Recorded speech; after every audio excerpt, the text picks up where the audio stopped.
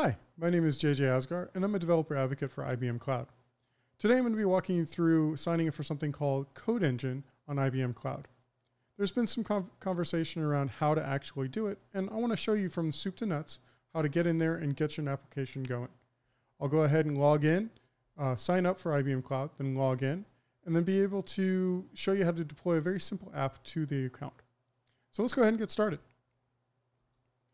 First thing first, this is it right here.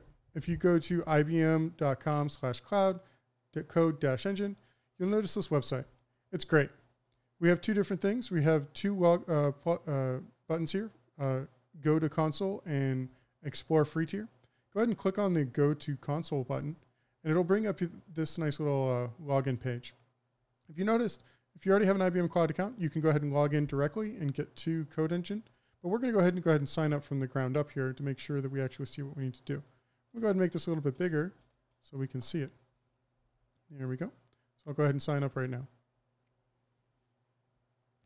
I got to go ahead and put a account in, so I'm going to go ahead and do a new account. So we'll do um, code engine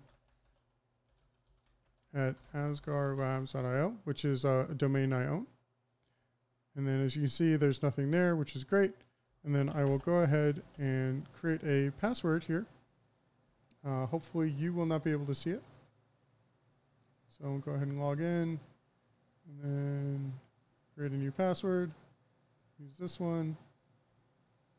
Copy. And then code engine. Scar Labs. Put this inside of a, um, what is it called? A uh, secure location because you want to be have best practices. Go ahead and go ahead and ink, uh, verify my email. Then it's sending an email to me in a second. Uh, hopefully you will, I will be able to speed up this video, but you can imagine it takes a moment. Here we go. And then we'll grab this right here. Go ahead and log in. My first name is JJ. My last name is Asghar, and I'm in the United States. Uh, I'm going to go ahead and accept the terms.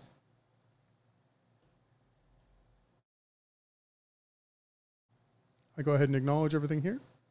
Hit continue. As this is going, uh, I will need to create a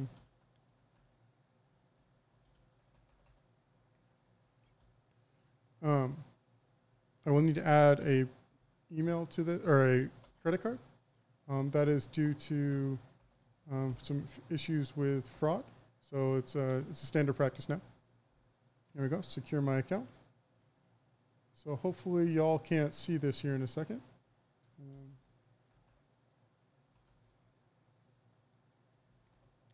Um, uh, go ahead and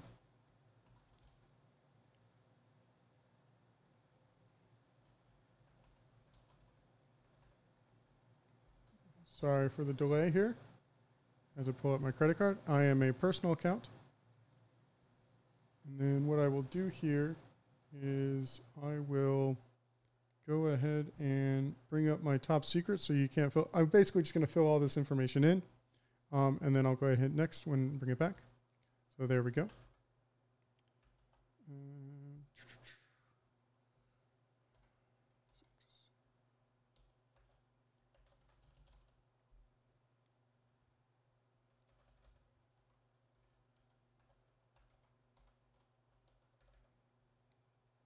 Next. It's asking me now for a credit card. And as long as I'm underneath the free tier, um, you cannot, you, you will not be charged, which is nice. We just want to make sure that you are a real human with a credit card. Yes. Go ahead and next. And then as you can see here, I'm going to go ahead and create account. And I'll bring my screen back here in just a second. Still working, processing information.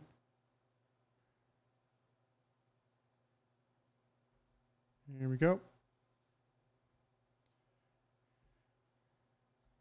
There we go. And now I'm actually in IBM Cloud, which is pretty neat, right? Um, as long as I'm underneath the free tier, I will not have to worry about any of this. But now that we've gotten actually into IBM Cloud, let's go ahead and uh, log in through the command line and then go ahead and deploy something to CodeEngine. So the first thing first is I'll go ahead and bring up a terminal.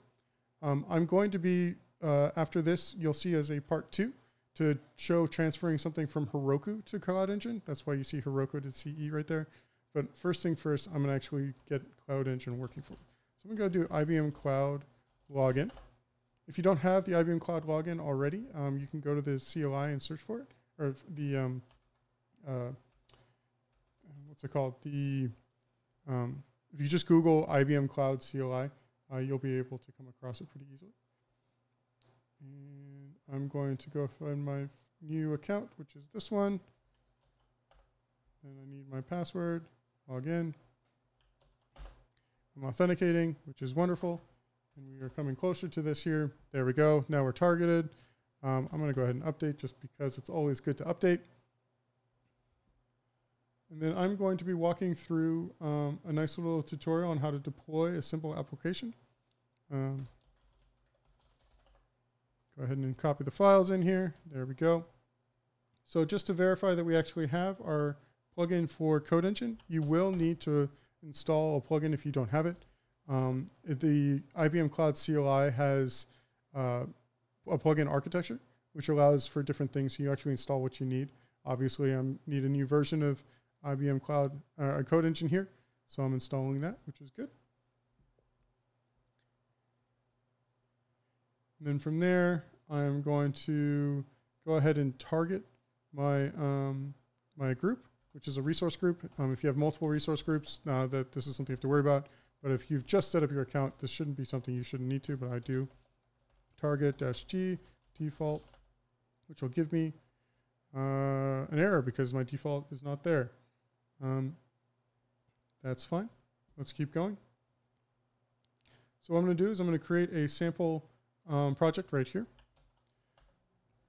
There we go. And it's telling me to resource my, so let's go ahead and target um, default. I don't have a group. Resource group list.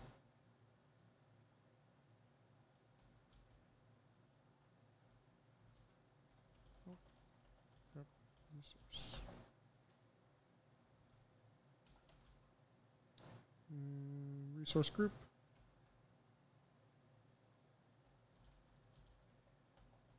There we go.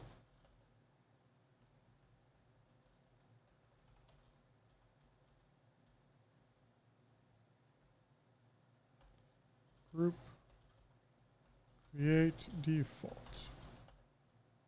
There we go. So now, if I go ahead and target my default resource group, there we go. So now, with this, I can go ahead and create a sample project, copy.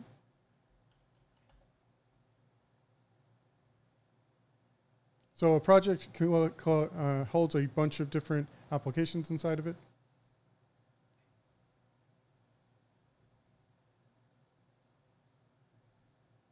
As you can see. Um, and we're going to deploy a simple Java, uh, uh, JavaScript app to um, this project here in just a moment. There we go. So we're going to go ahead and create something called my app. I'm going to go ahead and make the directory, which is going to be my code, and then cd into it. Then I'm going to create a vim server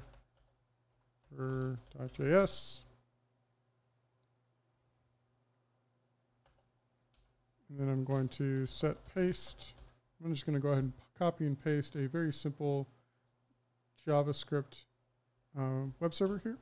As you can see, it's just one function and it uh, returns hello world with a uh, uh code of 200 and then listens on port 8080.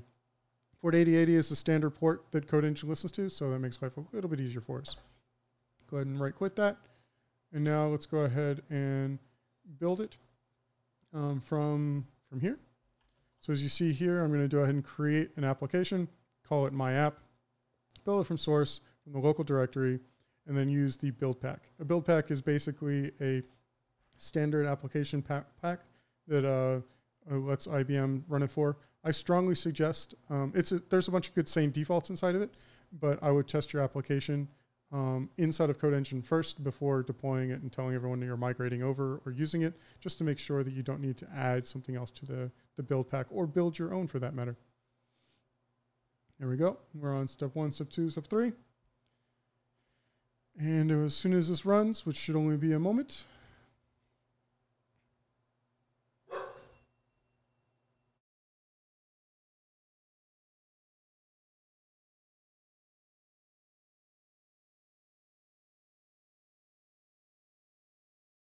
It should give us a nice little uh, URL here at the end and be able to uh, get into uh, our actual application and giving us hello world. And then we've done it. We've successfully deployed a JavaScript application to uh, CodeEngine.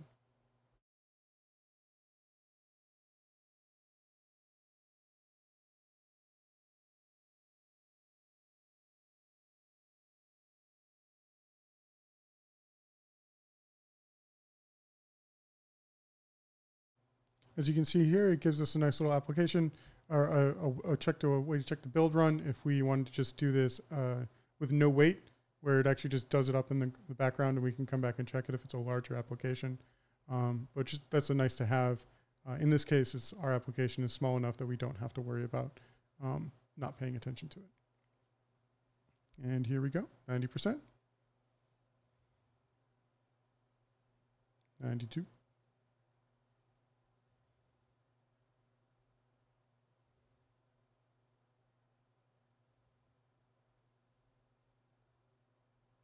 All right, now we're waiting for our load balancer to be ready. So that means our application has been successfully built. And now we're just waiting for the background to make sure that we get the routes to it. And what I will do also is I'll show you the website here in a moment uh, to show you it's actually running too on the website. But um, when you get to the more production level um, environments, you're going to be doing many things through the CLI anyway. Um, so that's that's here. There we go. So we have our application. We click it. And that didn't work how I was expecting, so let's go ahead and copy this right here. Bring up our terminal, go to that URL, and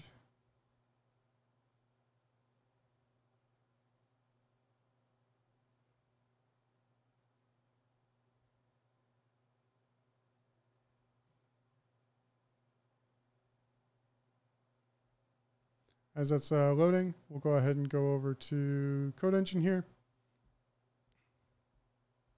And we'll go into our projects. As I was saying earlier, here's our sample project running, created five minutes ago. And as you can see, we have one instance, which is our application running. And we're using um, a total of four megabytes. So if we go into our applications, we'll see our My App running, and it's running with one instance and doing it. We should be able to see our status created three minutes ago, and we have our instances here. So if we go ahead and go back to applications and open that URL,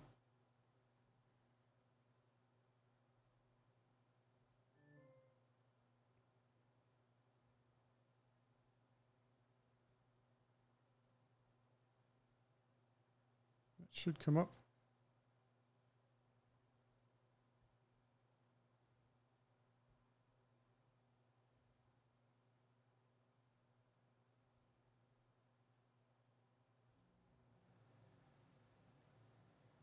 You can change a lot of the things around here if you want to change it to different environmental variables, change the amount of instances running at the time too, which is nice.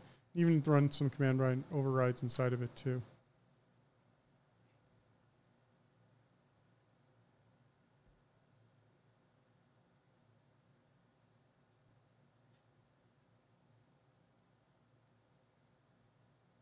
If you check on estimated cost here, um, we have we give it four gigabytes of RAM.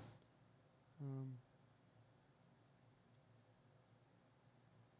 for this would uh, at the default settings that it has right here would cost about four dollars and forty cents a month to run. So you can obviously turn that down if you need to, which is fine.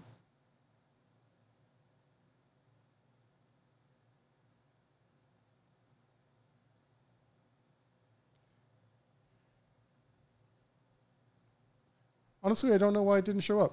Um, I'm going to have to debug that, and we'll go from there. But hopefully, you learned something. You'll see how easy it is to get up um, Code Engine onto our um, or an application into Code Engine. Uh, you'll be able to create it. Uh, oh, I did not show this. Um, there is a simple command of um, to delete your uh, instance uh, that you have created, which I wanted to make sure you saw how to clean up. I'll go ahead and run delete here, and I want to say yes. Go ahead and delete it, and there now it is gone. Um, again, I'm not too 100% sure why that didn't work, uh, but that is fine. You see that um, code is sometimes a little bit more fickle than it should be, but you see the actual interface into Code Engine signing up for the IBM Cloud and actually getting something running on the IBM Cloud is uh, quite straightforward. So I hope you learned something. And um, if you have any questions, uh, never hesitate to reach out. Um, that is my Twitter and that is my email address. Uh, thank you so much for joining me. Take it easy, y'all.